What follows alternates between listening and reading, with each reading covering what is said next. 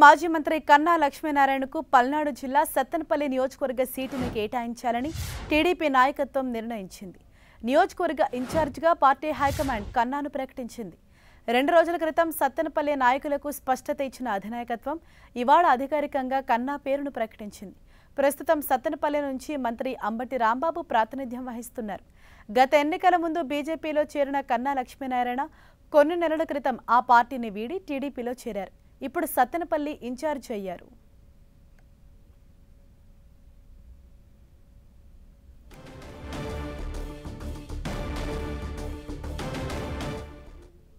Sattenapalli TDP ఇన్ఛార్జ్గా ఇటు కన్న లక్ష్మీనారాయణ చెప్పారు. దీనికి సంబంధించి మరింత సమాచారం తెలుసుకుందాం. మా ప్రతినిధి రవిచంద్ మనకు అందుబాటులో ఉన్నారు. రవిచంద్.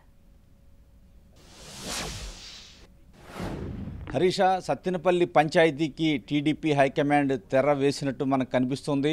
చాలా కాలంగా కూడా సత్తెనపల్లిలో గ్రూప్ పాలిటిక్స్తో టీడీపీ ఇబ్బంది పడుతుంది. ప్రస్తుతం అక్కడ ఏదైతే కోడెల శివరాం అదేవిధంగా మల్లి అని ఒక స్థానిక నాయకుడు అదేవిధంగా చలపతి ఆంజనేయులు నలుగురు టిక్కెట్ల కోసం పోటీ పడుతున్నారు. ఈ నేపథ్యంలో ఈ మధ్యనే టీడీపీలో చేరిన సీనియర్ రాజకీయ నాయకుడు కన్నా లక్ష్మీనారాయణ నాలుగు నెలల నుంచి కూడా గత నాలుగు నెలల నుంచి సత్తెనపల్లిపై దృష్టి పెట్టి ఆయన పనిచేస్తున్నారు.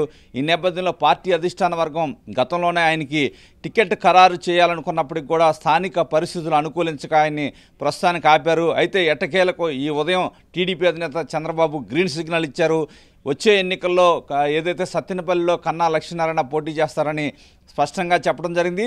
దీనికి సంబంధించి స్థానిక నాయకులకు కూడా చంద్రబాబు ఈ మధ్యకాలంలో రెండు మూడు రోజుల క్రితమే స్వయంగా వారందరికీ చెప్పడం జరిగింది. మీ రాజకీయ భవిష్యత్తు నేను చూసుకుంటాను. కన్నా లక్ష్మీనారాయణకి సహకరించాలని కూడా చాలా స్పష్టంగా చంద్రబాబు చెప్పడం జరిగింది. ముఖ్యంగా పల్నాడు ప్రాంతంలో కన్నాన కాపు సామాజిక వర్గం చాలా బలంగా ఉంటుంది. కన్నాని సత్తెనపల్లిలో నిలబెట్టడం ద్వారా పార్లమెంట్ పరిధిలో మొత్తం కూడా ప్రభావం ఉంటుందని టీడీపీ అధినేత భావిస్తున్నారు. ఇప్పుడు కన్నా లక్ష్మీనారాయణకి రాష్ట్రవ్యాప్తంగా కూడా కాపు సామాజిక వర్గంలో బలమైన పట్టు ఉంది. ఈ నేపథ్యంలో ఆయన పార్టీలోకి ఆహ్వానించారు. అప్పటి నుంచి కూడా ఆయన చాలా కష్టపడి తిరుగుతున్నారనే ఫీడ్బ్యాక్ టీడీపీ అధినేతకు వచ్చింది. ఆయన జేరిన దగ్గర నుంచి కూడా అన్ని ప్రాంతాల్లో తిరుగుతున్నారు. కాపు సామాజిక వర్గ ప్రతినిధులతో సమావేశం అవుతున్నారు. ముఖ్యంగా వివిధ పార్టీలో ఉన్న తన అనుచరులు మొత్తాన్ని కూడా టీడీపీలో జాయిన్ చేసేందుకు తీవ్రంగా కృషి చేస్తున్నారు. అదేవిధంగా అధికార పార్టీని ఎక్కడికక్కడ ఎండగడుతూ ప్రభుత్వ వైఫల్యాల్ని ప్రజల దృష్టికి తీసుకొస్తూ ఫీల్డ్ లెవెల్లో పర్యటిస్తున్నారు. ఈ నేపథ్యంలో టీడీపీ అధినేత ఎట్టి పరిస్థితుల్లో కూడా కన్నాకి అధిక ప్రాధాన్యత ఇవ్వాలని భావిస్తారు. ముఖ్యంగా అతనికి కాన్స్టిట్యున్సీ గుంటూరు వెస్ట్ మొదట కోరుకున్నప్పటికి కూడా స్థానిక పరిస్థితుల దృష్ట్యా కాపు సామాజిక వర్గం అత్యధికంగా ఉన్న నేపథ్యంలో సత్తెనపల్లిని చంద్రబాబు కేటాయించారు. సత్తెనపల్లిని చంద్రబాబు చంద్రబాబు కన్నా కేటాయించడం పట్ల పార్టీలు కూడా చాలా సంకేతాలు వ్యక్తం చేస్తున్నాయి. స్థానికంగా ఉన్న నాలుగు గ్రూపుల నేపథ్యంలో స్థానికంగా ఎవరు కూడా కార్యకర్తలు ఎవరి దగ్గరికి వెళ్ళాలో తెలియని పరిస్థితి ఇన్ని రోజులు నెలకొని ఉంది. కన్నా లాంటి సీనియర్ నేత ఇప్పుడు కనుక అక్కడ మొత్తం కూడా బాధ్యతలు చూస్తుంటే కనుక అన్ని వర్గాలు ఏకమై ఆయన కోసం పనిచేస్తారని చెప్తున్నారు.